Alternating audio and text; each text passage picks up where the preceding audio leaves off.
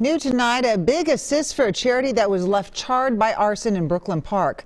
Last month, we showed you this video of a man setting a fire inside the Salvation Army there. The smoke destroyed winter coats that community members were supposed to pick up the very next day. WCCO's Allen Henry shows us how a hometown superstar is helping the charity bounce back. For the Salvation Army, the holiday season is their busiest time of year. We're getting people together. We have a great group of volunteers here as well that are helping uh, make sure that every kid gets a coat that they want. One of those volunteers, the number two NBA draft pick this year, Minneapolis native Chet Holmgren. Being from here and growing up here in the cold, uh, you know, I think this is, you know, a great full circle moment for sure.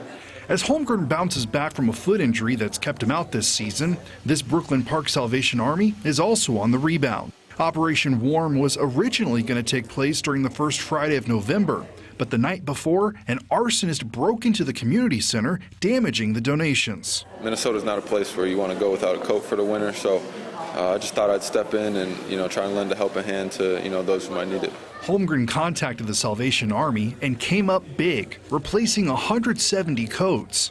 And with the Oklahoma City Thunder in town taking on the Timberwolves, Holmgren stopped by to help hand the coats out to families in need. You know, it's always always great to be able to help people and put smiles on their faces and make sure that they're warm for the winter. Obviously, we've made a great young man in Chet Holmgren and, and the way he wants to give back to his hometown, but that is evidence of the way the spirit is in the Twin Cities and the way this community comes together when there's a need and makes sure that uh, that need is taken care of. Allen Henry, WCCO 4 News.